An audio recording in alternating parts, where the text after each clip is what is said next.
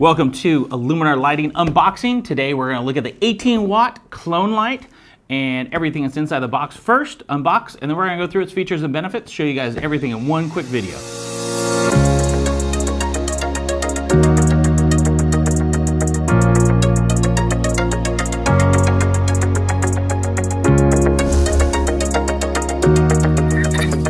So now we're gonna do a quick unboxing. This one's pretty simple, no assembly required. So we're gonna pop the top. We'll just toss that over here. And you notice you have your two lights right here. Each one of these is 18 watts. You can pull the foam out just like that. One light, two lights. And you'll notice inside here, there's some nice little mm, uh, mounting clips. So you guys can actually mount these right to the ceiling. Couple zip ties. You have your 120 volt power cord and you're ready to go. Super easy, super simple. Get these up on uh, your cloning rack and you're gonna be ready to go. We're gonna do a quick plug-in and show you how these work. So now we're going to show you guys um, the accessories and how these work. So these mounting clips right here have a single mounting hole right there. You can see they have two little cam bolts. This is to make sure you have a snug fit. So when you actually mount this to the ceiling, these will actually fit right around the outside just like this and they snap down. These make sure you have enough tension that they just don't get bumped out. Um, but they are easy removal. If you give a little pull, they'll pull out and they just snap back on. Um, we will also be looking at a couple other mounting options you guys will have with these. There are some small holes right here on each end. So if you did have another way you want to mount it, uh, you would actually be able to mount it through these holes if you want to string them up or put them up with zip ties, that type of thing. Something to keep in mind, this might be obvious to a lot of people. Here is your female socket. Here is your male socket. You snap it on and then this screw comes on and increases that fit. And you have a nice tight IP67 um, connection there.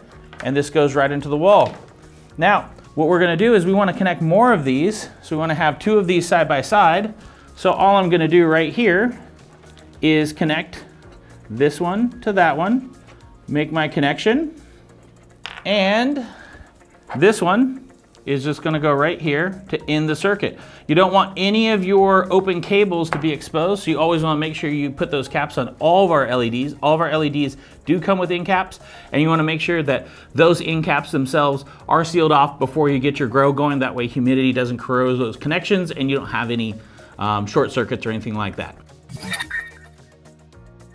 Okay, so now let's dive into all the specs on this 18 watt clone light set. So uh, this is a 120 277. It does come with a 120 power cord. Most people in their clone rooms are using 120.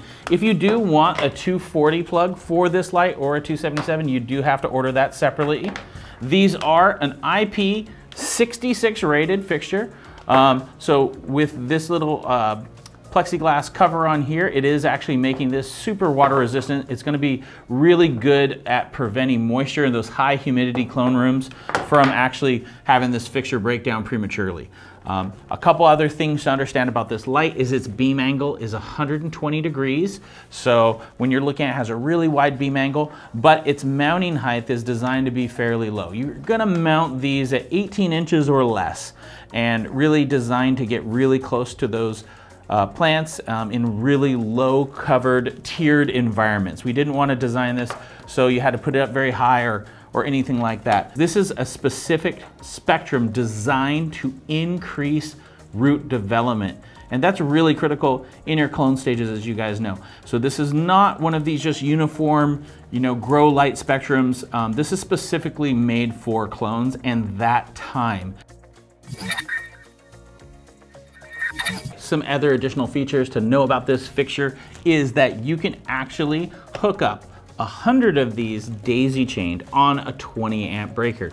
At that point, you're gonna be running about 1800 watts on that single line and a 28 breaker would give you enough um, actually amperage to run this with uh, plenty of room not to actually exceed that amps uh, specified or you know code requirements. You never want to overamp it um, and go all the way up to its max potential. You want to stay about 20 or 30% below the actual breaker's amount. One of the things that makes this really unique, and being it's a two bar selection, is you can actually move these apart and gauge how much light is required in your garden or in your clone rack. So um, ideally these have about a one foot range at about 12 to uh, 6 to 12 inches uh, with the way it actually uh, has that light beam.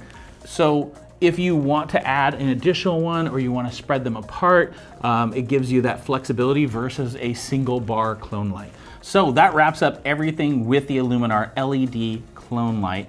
This does come with a five year warranty. So along with that 50,000 hour expected lifespan, you're gonna have the peace of mind that this light is going to last. And if there's any issues, you definitely call Iluminar and we'll take care of you. So we wanna thank you for watching this video. Hit that like button.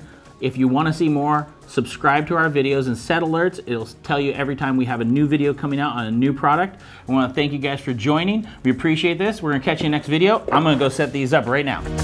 Thank you.